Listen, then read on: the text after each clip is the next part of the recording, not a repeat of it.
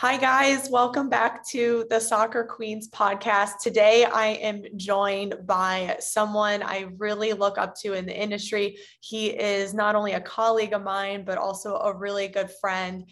And I'm just so grateful that he's joining me today because we're recording this on a Friday afternoon, his time. And I just really can't wait for him to share his knowledge on youth development and performance training for soccer players, as well as coach mental health, because that's a topic that we don't talk about a lot, but it is extremely important if we really want to serve ourselves first, but also be the example for our athletes. So, Paudie Roche, welcome to the show. Thank you for having me. It's a privilege and honor to be invited to chat with you. Um, I know we've had some amazing chats sadly not in person yet, but hopefully when things settle a little bit more, we'll be able to visit the States or you come visit the UK and love to meet you in person. You've been uh, really, really inspirational and helpful to me across the last 12 to 24 months. So it's an honor to be on here. I'm I'm really glad we connected and and that means a lot. And it's just it's so important us coaches have that strong community where we can bounce ideas off each other but also be be good friends. And really talk about things we're struggling with and what we want to do. And it's it's just so important right now. And i know you have an extensive resume as far as your coaching and i want you to brag about it and highlight yourself. So for the listeners who don't know who you are please give a background on where you started as a coach and where you are now um, I suppose we'll start from where I am now and work backwards, if that's okay. Yeah. And um, I'm currently the lead academy uh, strength and conditioning coach for Arsenal Football Club, based in London in the UK. Um, they're a Premier League club, um, in, or a Premier League soccer club, and um, I've been with them nine seasons now. The first four seasons, I was in charge of the U9 to U16 program, and now I'm kind of overseeing the U18 uh, to U23 program, but my predominant work day to day is with the U18s, and I'll speak about that why I choose to work with that squad later on um, and that age group. Um, before that, I spent six seasons with um, Irish Rugby, based in the Munster province, which is the southern province of Ireland, and there's there's four professional rugby teams in Ireland, and I worked with uh, Southern Province Munster for almost six years full time, and then I suppose two or three years part time with that where I worked with the Irish under 20 national team and the first team national team at the 2011 World Cup in New Zealand and the Junior World Cup in 2013, which is under 20s, U20s, before moving to the UK. Prior to that, I have a varied experience in collegiate athletes, if you want to call them, uh, what um, you say in America, collegiate or college athletes, um, university athletes, working across a range of different sports from frisbee to dance to sailing to badminton to uh, track and field. Um, and before that, I ran a looked after a small gym in university where I where I studied and got my undergrad. And along the way there, that's where I kind of got my first taste for strength and conditioning. When I suppose in Ireland, certainly in the southern Ireland, the strength and conditioning in 2000 and 2001, 2002 um, wasn't really a set profession at the time. There was no real clear pathway to how to be a strength and conditioning coach. You kind of fell out of it into a, from personal training background or a sports science background or um, athletic trainer background, and you there was no kind of formal strength and conditioning education. Um, there is now a substantial amount of it, and it's now a really fast growing industry. But um, yeah, I kind of learned my trade through learning Olympic weightlifting from friends and colleagues, an old friend and mentor of mine, Billy Cable. I started a bit of bodybuilding with a guy called Bernard O'Brien, who taught me really when I was 17, 18 what training was about. Um, played lots of sport growing up, the Gaelic games, uh, played soccer, done track and field. And yeah, just I'm an early developer. I'm only five foot, so I stopped growing quite quick. I was powerful and quick very young. Um, but then then others caught up and I couldn't the team sports just didn't suit me. So I ended up taking up Olympic weightlifting, which kind of really got me into strength and conditioning because I became the strength power guy. And you know, local teams, local rugby clubs, hockey clubs were kind of seeking out someone to implement gym training at the time, 2002, 2003, when you know it was starting to become popular as part of the development of players. And I suppose from there, just knocked on to full time employment with Irish Rugby and then uh, and Arsenal here. And uh, I suppose along the way, uh, the education pathway for me was an undergrad in business and leisure management. Um, I wasn't brainy enough or smart enough to get into sports science through the Irish system. Um, so I kind of fell into the sports management side of things. And then from there, just done personal training qualifications, weightlifting qualifications, and actually got my the NSCA CSCS back in 2007. That was my first formal um, sports training conditioning qualification. And now I'm accredited through the UK Strength and Conditioning Association, the Australian Strength and Conditioning Association.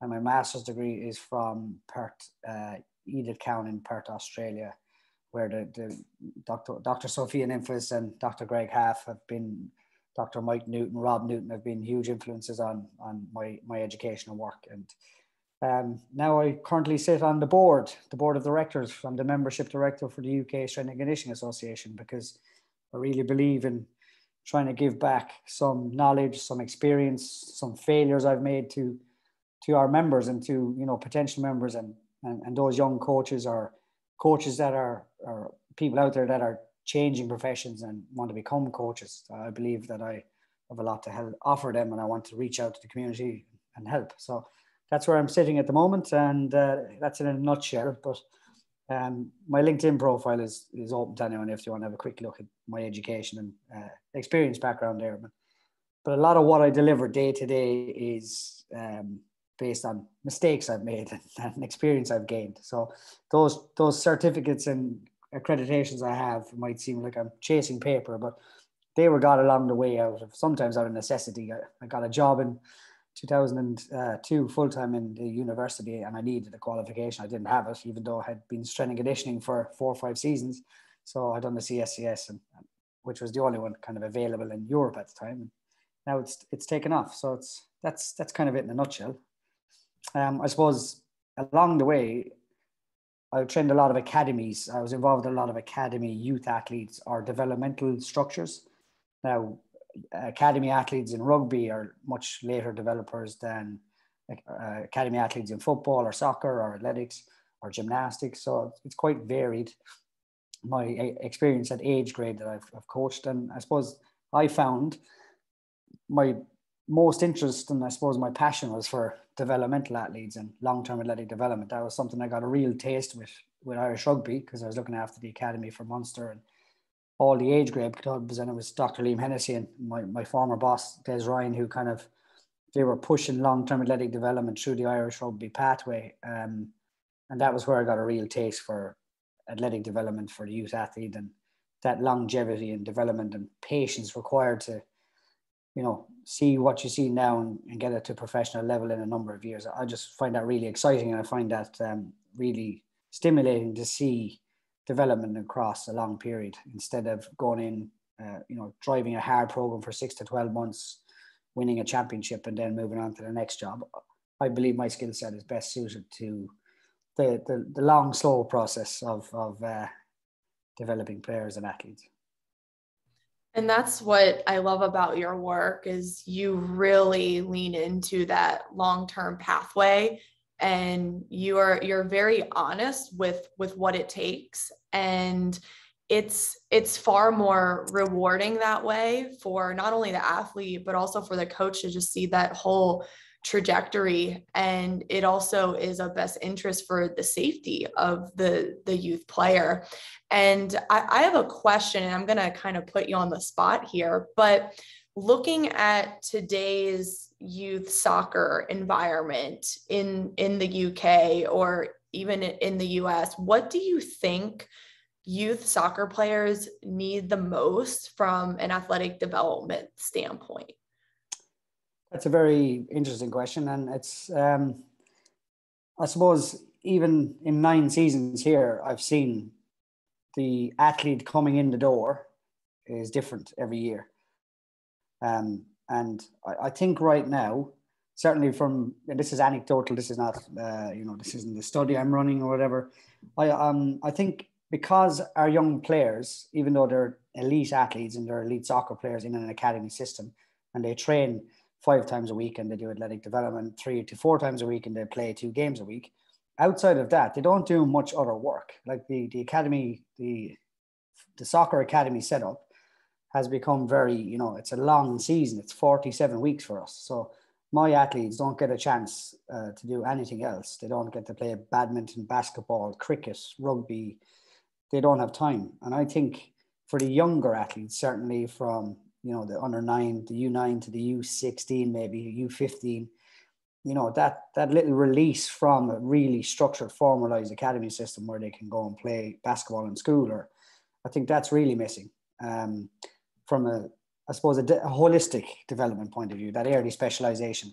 And if they have to specialize early, unfortunately, here in the UK, because like we've got 16, 17 year olds who are making debuts in the Premier League. So they have to be ready, um, even though they're young athletes. So that understanding has to be there as well. But definitely, I think that overall movement, I've seen a lot of foot, ankle, foot and ankle health is poor. I think the football, the soccer boot now has offers little or no support. They're getting lighter and thinner, and um, I'm seeing that you know people are they're getting the sizes of the feet wrong. We're we're finding a lot of foot stuff. Um, if you want to talk about development, and that's only base level, but they are their tools, they're their weapons, is their feet. You can have a big engine and big powerful hamstrings and, glutes and all the things you need to accelerate. But if, if your boot, if your feet are poor quality and you haven't got good health, then I think you're missing out on, on reactive uh, strength. You're missing out on change of direction ability, etc. Um, also, just overall, I think overall robustness. When I say robustness, that that ethic of okay, no matter what, I'm going to work hard. That kind of seems to be slipping away from a lot of young athletes now because I think we're failing them. We're, we're giving them too much, and I know that's a generational thing, um, but I've certainly seen it even in the last two, three, four seasons we're, we're putting, I call it scaffolding, we're putting more scaffolding around the young player every day, whether that's psychosocial help or it's nutrition help or it's, they, they don't have to think for themselves really. They don't have to go, okay, why am I doing this exercise? Okay, if Paudie's not here, what do I do? I don't really know what I should do. When, you know, and I try to encourage a lot of free, it looks lazy from the outside. If you're a colleague of mine, you might go, here's Paudie's giving up here because in some sessions I let them, okay, let me see you do your own pre-training prep now the game is tomorrow. This is your opportunity to, you know what you think you need. Those off you go. Let me see. And often it's a bit loose and it's a bit, um, but actually, I think we are disabling them in lots of ways because we do everything for them and everything is structured. And because your boss is going to go, show me his athletic development program, show me his pathway. What are we doing here, here, here? Um, we saw that a lot actually. If there's a period of time where we get some break, like for Christmas, um, there'll be eight, 10 days off. And straight away I'll be asked, where's, where's the program for Christmas? Have they a program for Christmas? And in my brain, I'm going, I don't want to give them a program for Christmas. They've trained for 27 weeks, uh, structured formal training. How about we, we let them go and, you know, meet their buddies for a game of football or, you know, meet their buddies for a game of cricket and maybe go for a park run or, you know, um, but I think there's that fear that if we're not um, structuring training all the time, if we're not implementing our philosophy and our pathway all the time that that player might miss out on an opportunity to develop for that period of time. But so i think yeah overall foot and ankle stuff very important. I'm seeing lots of foot stuff um, which isn't talked about really. If you talk about holistic development no one really works on their feet which is, is strange because they're footballers but um, i'm certainly honing in on that at the moment. And overall i just think structurally we're we do too much um, too much for athletes and for young players now I'm so glad you mentioned the the foot problem because a lot of my players are probably listening to this episode, but I, I, literally put in their programs go walk outside barefoot, like wear your shoes as little as possible. And it's such a small fix that leads to amazing results and just really strengthening the foot and getting the mobility of the ankle and not restricting your your bones and it's it's something so basic and, and you always reinforce the basics just as much with with your older players but it's it is something youth are missing and the free play as well like you said like every kid is pushed to specialize in most countries. And I think you nailed it as far as like we are failing the kids and adults need to take responsibility and find ways to give players that playback and that autonomy.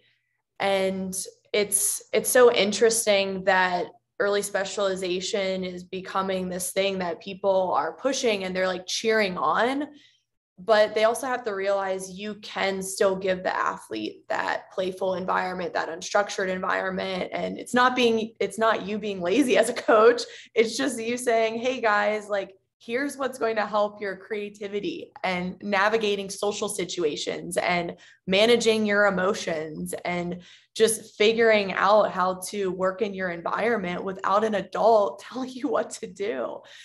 Um, so what are some things you do? Uh, I know you you gave the example of having your team do like the pregame warm up and movement prep. What are some other things you do to give them that autonomy back? So to get um and that's yeah like we I live in a world of early specialization, so I can't be damning of the sport because it, it is what it is and it's a fantastic sport, but they have to specialize early really uh, because the, the, demands of the academy and, and you are right as adults we fail and we forget they are still like majority of the athletes I train are between 16 and 18 they're still technically teenagers they're not men yet and um, even though they might look like that. And we're, we're asking a 16 year old who's coming from school part time into a full time program to be an adult. Like he's finished school four weeks ago, now he's in a full time program and he needs to be an adult. So, how do I take that away? It's, it's interesting how I try to, just sometimes they find a way without me guiding it as well. I'll give you an example.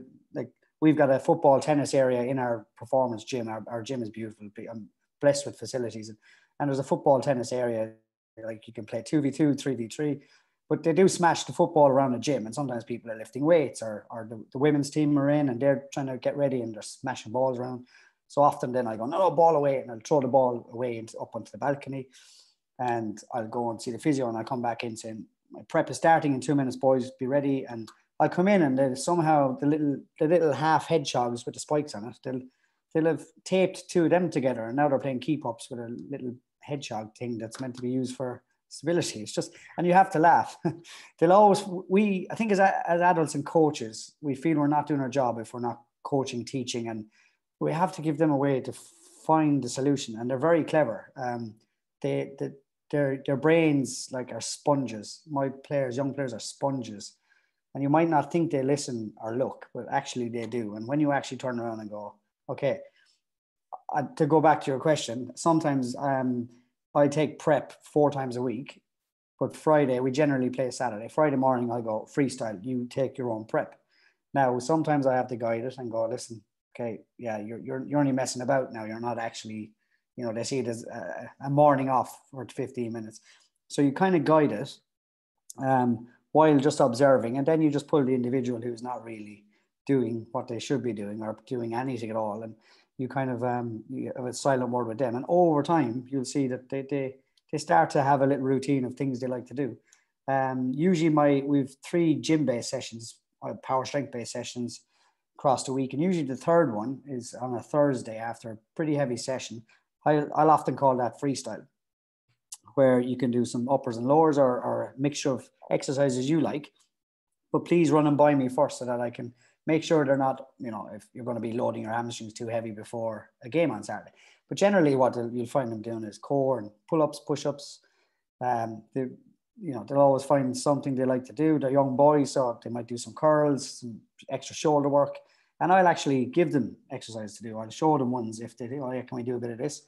And it's it, it just drives a little bit of, okay, ownership, I think is the word. Um, and I'm lucky that at this stage, they're pretty good at that, most of them occasionally my pitch base warm ups, I'll ask the captain to take today. You're going to take the 10 minute pitch base warm up um, and see who listens. And because they do, um, as part of their education with me, I, I do run little workshops on GPS and monitoring and warm ups and cool downs, etc. They have to do as part of their apprenticeship, but it gives me a chance to go, okay, name two hamstring stretches that I've shown you or even demonstrate them. And it's very interesting then when you go, because they become robots you, you know, they look, look at me do this, do that 10 times. They do it 10 times as they're chatting. But when you actually go, okay, show me a hamstring stretch, they go, what, what, what? So yeah, sometimes I'll ask a captain to take the, the, the, the warm up on a Friday before the game, or even early in the week on a Monday when we've just played a, a lot of games and we want to just, it's a restart day. So Um, again, that takes buy-in from the coaches. Sometimes that's not appropriate. The technical staff go, "Well, you're not doing your job." But um, so there's a few bits like that, and I do encourage the boys to question their programs. That's the big thing for me. Um, we often, and it was a, a, colleague of mine, Dominic May, who works with the under U23s. He does this all the time with the older players. He got he, he sends out a little survey to them at the start of the season and says, "Okay, tell me what you think you need to work on. Tell me what you like and don't like. Exercise index based."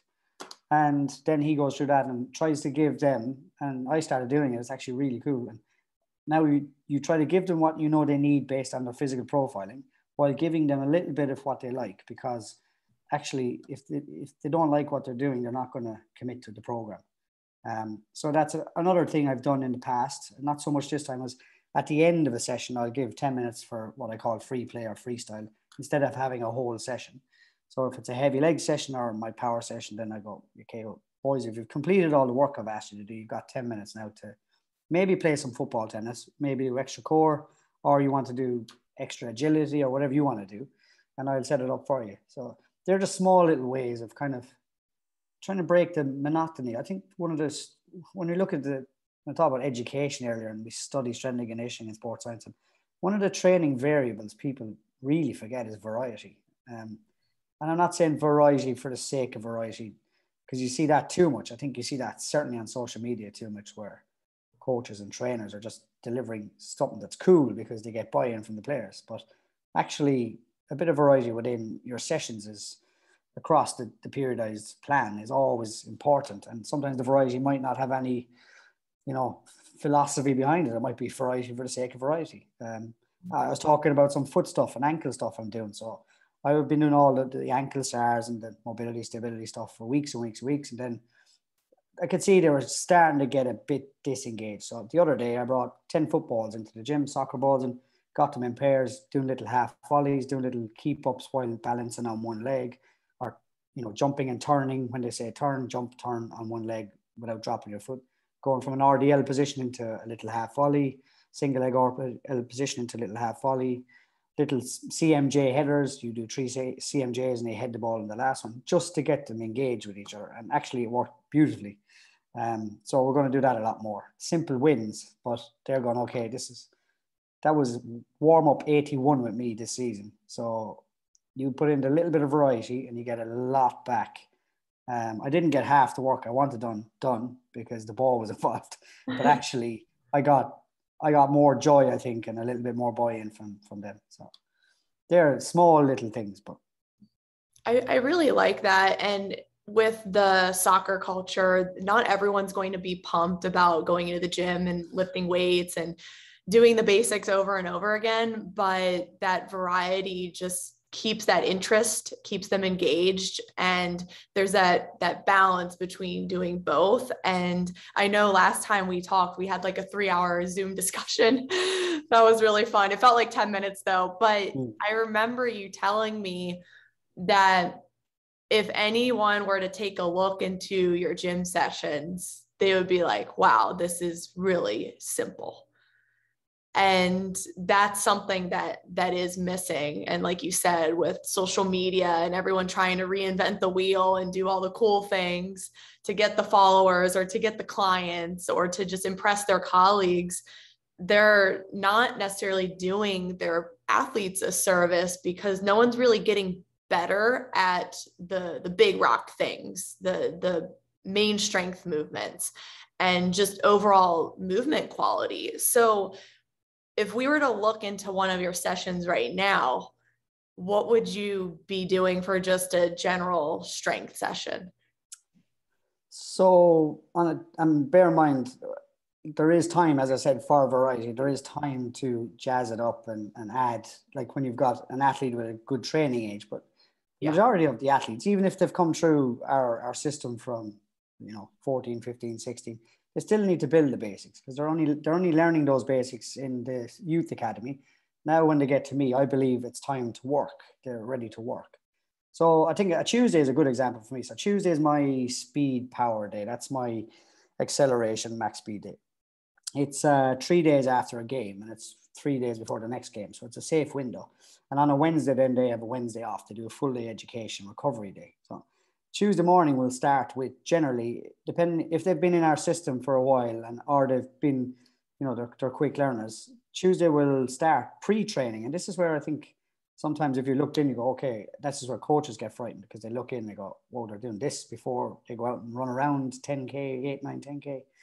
They'll do power cleans for power, like I'm going to strength speed, um, maybe low volume, three, four, five sets of three or two, depending on their ability. Some some of the taller boys might uh, my my centre backs might do some hang power cleans because their limb length and their range just isn't built from taking a bar from the floor. And people might go, why teach them to take it from the floor? Well, some of my centre backs are six six foot five and their their their biomechanics don't suit pulling from the floor because they've got a short back, really long femurs, etc. So they'll do that. Then they'll do some linear hurdle hops. So we'll start with hop and stick, or we'll start with really reactive. Uh, some of the really good boys can now do ten hurdle hops without barely touching the floor. And now we're up to we're up to hurdles now that are beyond waist height. They're almost at belly button height after a number of weeks. They'll do some overhead med ball throws or rotational med ball throws. And I'll really then we'll do something reactive like a resisted sprint, whether that's on a run rocket or on a sled, a really light sled, just to teach what I call first step acceleration mechanics over five to 10 yards. It's not very heavy where I'm trying to build that strength, running strength. It's literally to teach them we're going to have to do speed now. Let's see, can we have short, choppy, aggressive steps in the first five to 10 yards? Uh, and that's gym based. Uh, that's after a warm up, of course, and some re- uh, activation stuff. Then we'll go out onto the pitch, and I'll have about 15 minutes where I'll build up to do some speed mechanic work and that this is where it's very linear and very progressive is it's simple basic a skips b skips um, some wall drills maybe some pop skips and floats. I love i love pogos into tuck jumps on the pitch. Pogos into tuck jumps into an acceleration. And then we start building up our accelerations over 35 to 40 meters which is probably 40 yards. Um, to get a max speed effort and this is where it gets interesting because we we I like to periodize and use lots of different starts: two point starts, three point starts, falling starts, kneeling starts, uh, lying on the ground starts, and they all look at me. Why why are we? Why we never we never fall on the ground and then have to get up off our chest and sprint? But I like it. I use it as a tool to practice popping up and getting your feet in the right position before you accelerate.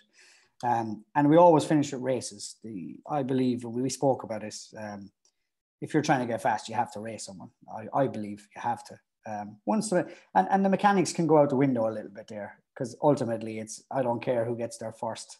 Um, and I always coach in speed. I always drive that it's more than just the quickest person. It's the person who quick reacts the quickest, person who can turn the quickest. Sometimes it's the person who you know cheats a little bit, gets there a bit quicker. Because on the pitch, if you can do that, if you can lie in an offside position and not be seen, you get there quicker. Um, so we always have races and we'll have a little leaderboard with the races. Then that goes into our, our pitch based training, which is an extensive day of, you know, 800, 900 meters, high speed running, seven to 8K. That's our big football fitness work day. Um, and then after that, we'll go in and load in the gym. So pre COVID, we would have gone in, um, had some lunch, had a two hour rest, and then done a, prop, a big gym session. But I'm kind of restricted with time at the moment. So now we will go in and um, kind of get a protein snack or some fruit or something uh, in the nutrition room, and then we'll come in and start our. And this is where I do my lower body session predominantly because it's the kind of safest time to do it. I like I like to microdose lower body activities across the week, so we will also do lower body activities, generally unilateral stuff on a Thursday, low volume. Um, but I like to microdose, and you know, people there's lots of different um, philosophies around this, I suppose. With the older athlete, you have your upper body day, your lower body day, etc. But for me, my upper body day is Monday because it's two days after a game. Offload the legs. Uh, Tuesday then will be a mix of bilateral lower body, and then Thursday will be a mixture of unilateral lower body and some core exercise. So Tuesday might look like back squat or hex bar deadlift, depending on your, your frame and ability, RDL. Um, obviously, we do for the hamstring, um, posterior chain, or like a back extension or a glute ham hold, depending on the athlete again. Then I'll always go into some sort of groin exercise. And so I, will my they'll be my two big strength exercises. So they are young athletes and they've they're after big load that day. So I don't believe they can tolerate a lot of volume.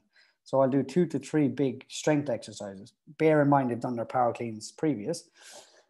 now, now they do like a big compound back squat, uh, RDL or a hex bar deadlift and a uh, glute ham raise, etc. for low volume, low high intensity. But then the groin stuff, I do some. I like to do some volume on the groin and the calf work, or we'll do some um, hip hip conditioning or groin conditioning. So that'll be like a reformer uh, sways, or it might be a slide board lateral lunge. I love the slide board lateral lunge. Um, um, some of the taller boys, if they've got this is where I try to be a little bit clever.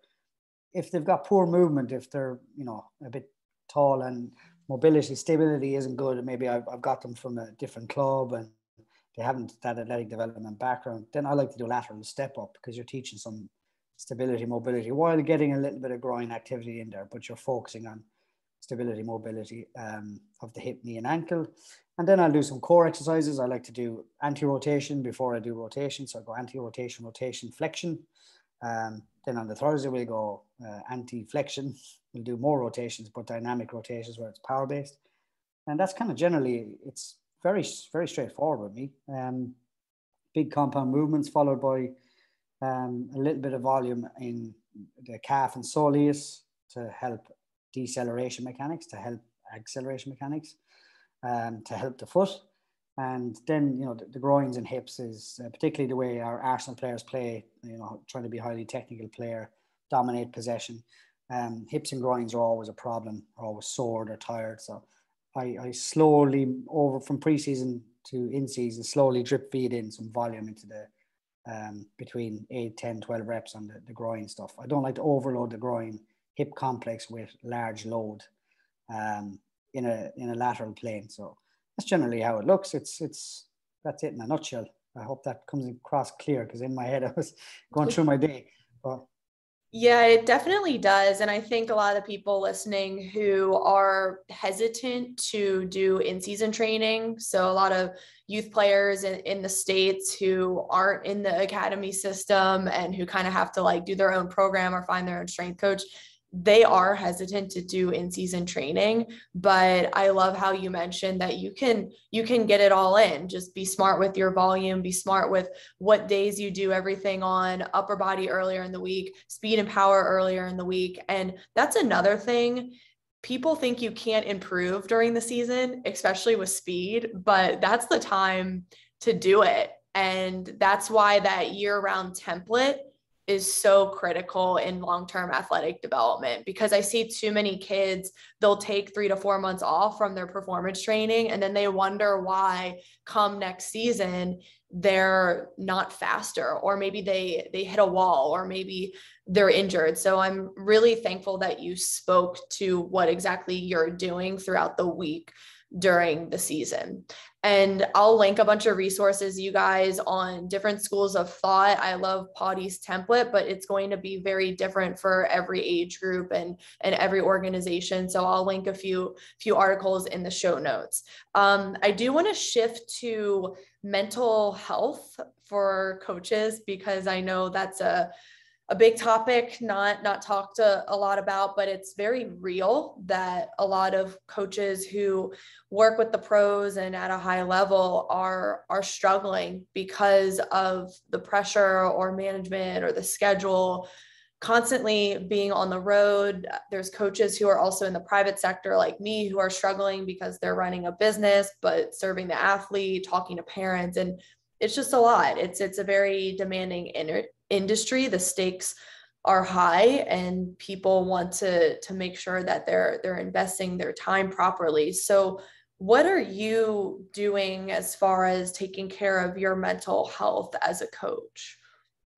Well that's yeah that's a very hot topic i think at the moment as well. And obviously anyone on social media will see you'll see coaches stepping out of positions currently in elite sport or performance sport or the performance end of the game you'll see all sorts of there's a big plug on mental health at the moment. I think there has to be um, off the back of lockdown and COVID and all that as well. But I've seen it deteriorate. I've personally and professionally, I've seen the mental health of coaches and, and the people that I certainly would talk to on a daily basis or a monthly basis.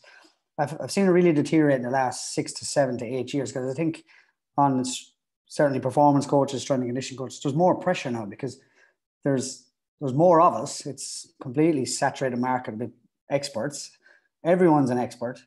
Um, you know, there's it's a really everyone's a specialist.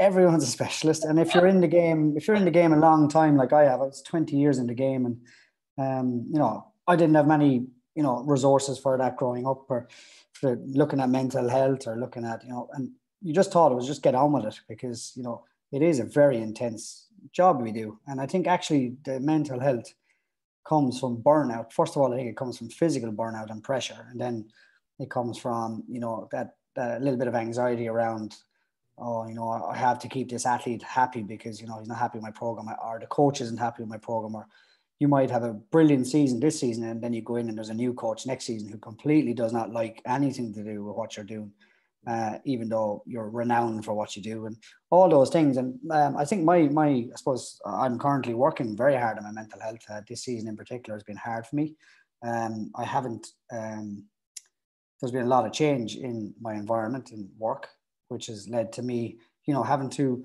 work on different things and new challenges, which is that's normal. That always happens. But actually, it's it's deeper. I think it's deeper seated than that. It, it seems to come from burnout from the profession. Um, and I don't mind saying that because I, have been talking to some some of my colleagues, some of my mentors, and, and they're the same. Um, I think the last two years with lockdown and any of us that have been like sport was one of the first things to go back.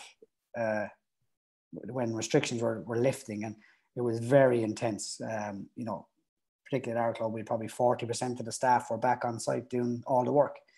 Uh, you know, when when it was really intense to keep people safe and ensure that the boys stayed safe and didn't pick up COVID, and we continued to get ready to train and play competitively. And I found that very difficult. Um, and I suppose it's only paying its effect now. So what do I do? Well, I broke a lot of habits because I'm, you know, it can be a six day a week job, 12 hours a day if you let it, if you let it be that. I don't think you're ever off because the phone is always on. So that's the big one for me is the phone. Um, you're always reachable as a performance coach. You're always reachable if you're working with squads. Um, oh, because things change. Oh, by the way, we party nine o'clock at night.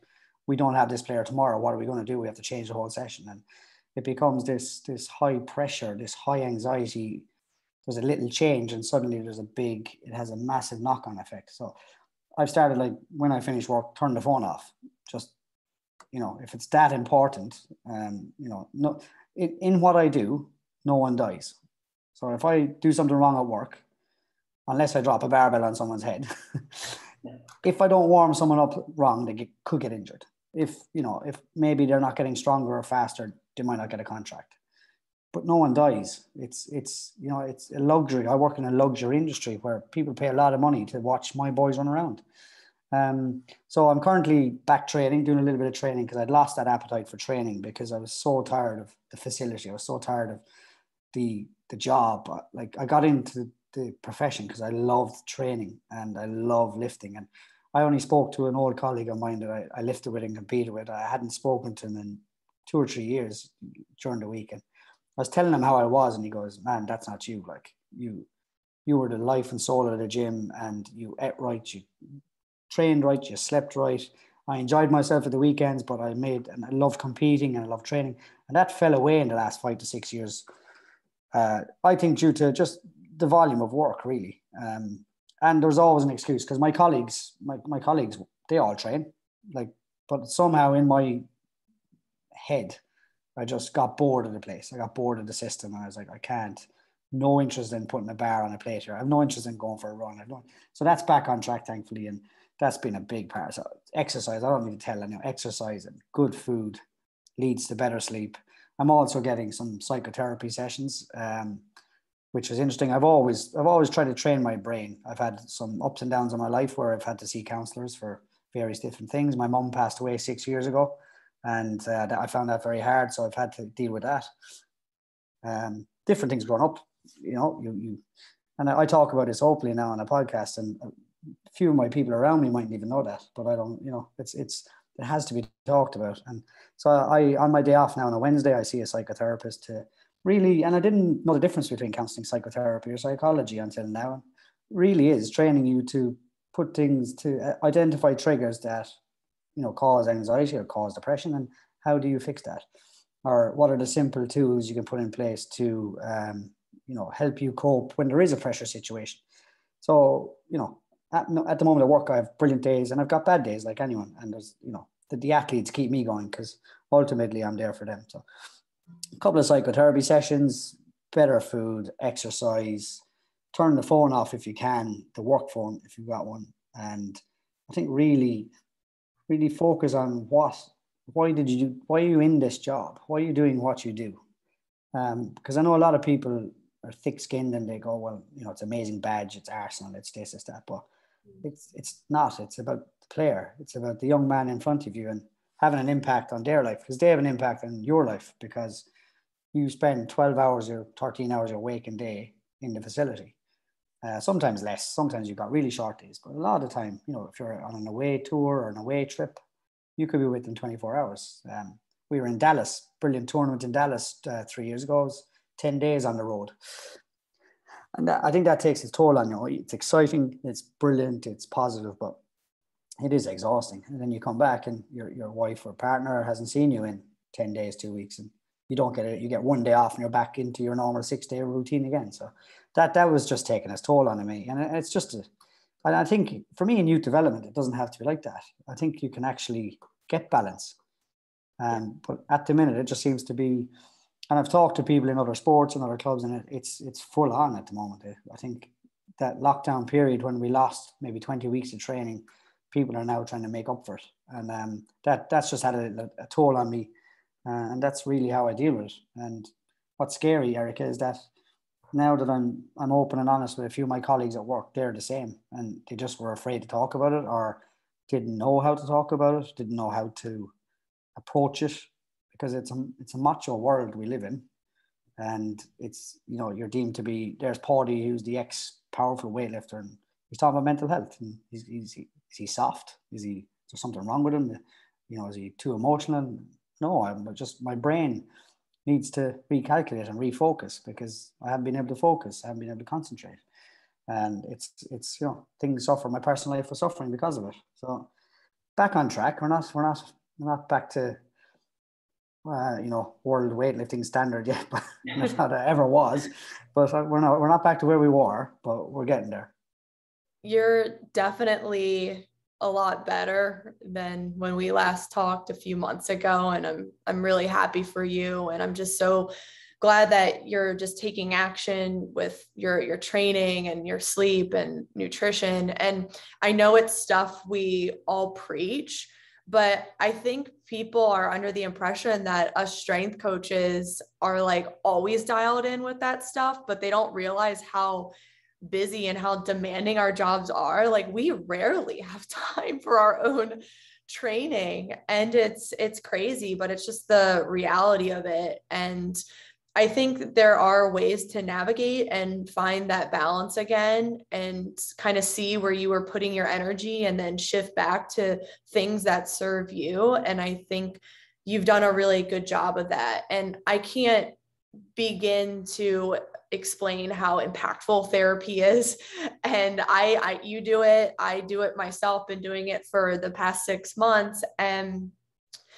I think it's becoming more of the cool thing to do now. Like, I know a lot of my friends see a therapist, and it's just so beneficial. And when we talked off air, it's just so nice to have that that outside perspective and someone who's not your spouse and not your friends and you're not constantly venting to the same people because when you vent to people who are in your corner they also have biases and blind spots and they're going to say well they're going to agree with you and kind of just like egg you on whereas the therapist is like giving that more like objective perspective and getting you familiar with your emotions and your triggers and just really talking through things in a, in a non-emotional way. So i love that. And i i think as far as the the coming back to your why is also really really important. And and you asked me that question when we talked on zoom. You're like why do you do this? And that's not a question that us coaches are really given and we don't we don't ask ourselves. And it's important to get clear on it because when things do get tough you're reminded, okay, this is why I'm doing it. I'm doing it to serve my athletes. I'm doing it to make an impact on not just their playing, but just their overall development as humans. And again, that's why I really love what you do because you really look at the athlete and the human and you really care about your players and i can i can just see that from your work and the way you talk about it so for that i'm thankful for being able to be a friend of yours. And thank you for the feedback on that because I think, uh, again, I'm I'm an open book, but it's the mental health side of things is like we spend so much money on gym memberships to train our body or the, the latest bike to go and race in a triathlon or but actually how do we separate you know how do we train our brain to to you know mental shelve work and park it or mental shelve this reaction from a coach now that has completely thrown your whole day because you know they, they're not happy with something or this player who's been awkward or and you know I, I don't feel it's i don't feel i have the right to tell my players they need to go and see the sports psychologist because they've got performance anxiety or they are struggling with social aspects of fitting into an elite academy. And I, I think we forget that like the pressure on young athletes to perform. When i say they're only young they are only teenagers like is immense. And there's this expectation that you're going to be this top player. And I don't think as a staff member, certainly uh, I would consider myself as more than a staff member or a support staff for these boys. I believe I impact them in other ways. And that's why I love what you do because you talk about the holistic development. That's what we talk about. We don't talk about specific strength, power, speed. It's about how do we make the person better because so few will make it. And I think us as coaches and support staff and athletic development staff, physios, doctors need to understand that. And I think that macho stereotype is still there because you know psychotherapy psychologist therapy. Oh you're going to therapy. What's wrong with him? He's losing his brain. His head's falling off. No i'm just struggling to compartmentalize things that are affecting other things. So how do i put a structure in place that again identifies the triggers and have little tools? And it's, it's actually very simple. As you say talking to a stranger it literally is what's before you know it they're pointing out the trigger. And trigger isn't always work. And I love my work. It can be something else that I've forgotten to do to, to mind myself that is now causing anxiety and it's a vicious circle because before you know it, it's two, three years and you're you haven't dealt with it and it's a problem. So yeah, we're we're, we're certainly uh, I'm actually even looking at sports psychology as a profession or or psychology as a profession further down the line. I'm fascinated by it, um, particularly the young brain because mm again, we're asking teenagers to be adults. Their brain isn't fully formed. Um, and the pressure and anxiety now, because everything is on social media, as coaches, as athletes, everything we do, good or bad, can be berated on social media or loved on social media. And one, I think that love on social media has as much impact on your brain as the hate on social media. So, or the dislike. So, I think we need to be, I just think we need to learn to protect ourselves. Yeah. I, I think you're such a, a good example to your athletes because it, it isn't just physical. It isn't just going in the gym and doing your RDLs or improving your speed times or performing in, in matches. It's it's about are you mentally resilient? Can you navigate your emotions and and understand your triggers and can you communicate with people? Can you listen? It's it's so much more than than the physical side and i think you opening up about this is going to inspire other coaches and and even athletes hey i need to strengthen my mind as much as my body. And i i can't go through life just focusing on on one thing because when things get hard how am i how am i going to handle it? Will i will i be okay? And one one other thing you had mentioned to me was like it's okay to not be okay. It's, hmm. it's totally totally fine. I i think if you're not okay and you don't do anything about it that's when it becomes problematic but it's okay to be like look i'm not mentally good right now but it's time to do something about it and get my mental health back. Even if it's going to be a long process that's okay I'm taking small steps in the right direction to get my mental health back. So I'm grateful that that you opened up and and shared your experience with this and I know it's going to impact a lot of my listeners and if there's anything you want to close out with i know you dropped a lot of mics in this episode but if there's any takeaway message you have on youth development or physical and mental health what do you want the people to know i suppose my whole philosophy is brilliant basics whatever you're doing um, basic and consistent um, whether that's a strength program a speed program power program basic and progressive. You need to be able to plan it, measure it, and change it. Um, yes, you need variety for the sake of variety, but if you're working with, and it was Dr. Joe Eisenmann, I presented it at the Child Champion Conference three years ago with Dr. Joe, and if anyone knows Dr. Joe, phenomenal human being for content and a wonderful man. I've, I've, I've loved meeting him in person a couple of times, and he's visited us, and like he done this wonderful presentation on maturation development and of the brain, of the body, and there was three things that stood out to me, and it lives with me now. I just didn't know it. in order to develop, whether that's physical or you know to become a better sports person or to be a better athlete, you need three things: you need genetics, nutrients, and environment.